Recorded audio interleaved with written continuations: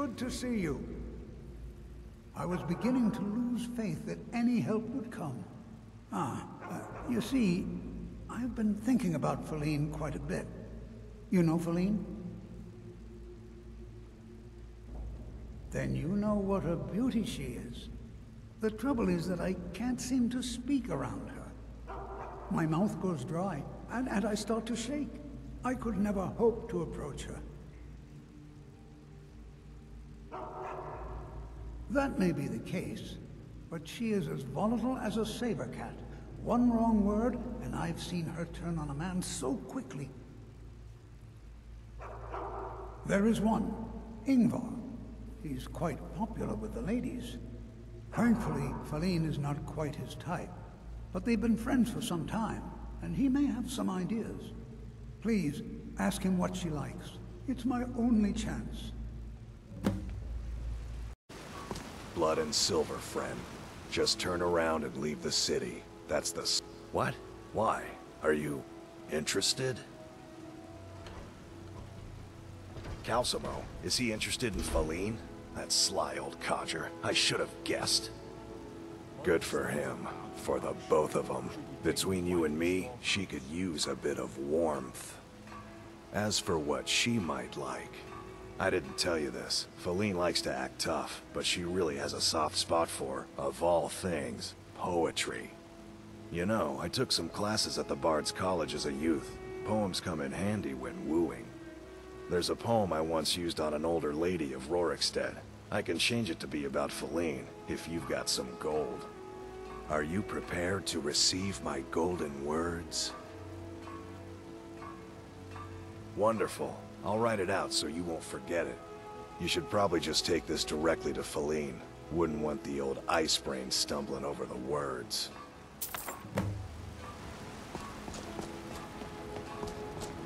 You won't have to fight him here. They live here too, my As lord. his housecarl, Igmund's security is my chief concern. Calcelmo? What about him? Thangivo? He's an odd little man, always poking around the ruins and wasting time in his museum. Seems friendly enough, obviously intelligent. Why do you ask?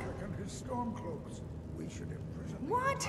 You're out of your mind. That old coot's more interested in dead dwarves than anybody around here.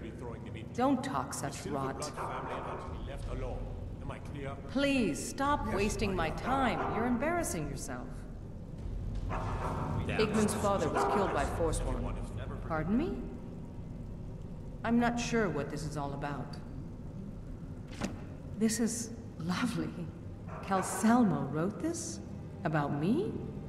I never knew he had such feeling in him. Clearly, I've never even thought of him in that manner. I wish that I was as skilled with words as he. Here, take in this letter. I may not be as eloquent as he is, but I hope he understands.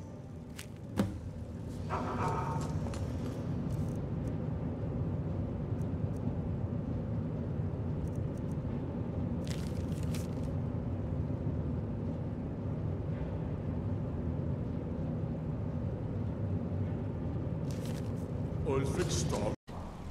Uncle Good to see you. I don't understand what you mean. Could This maybe is more than I could have hoped for.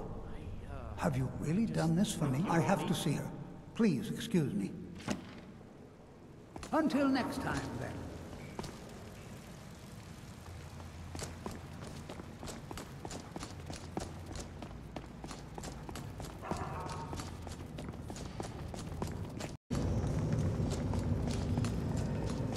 Faleen, I... Shh. It's all right. You don't need to say anymore. I had no idea you were so nuanced. I love you. So I hear. Come here, you.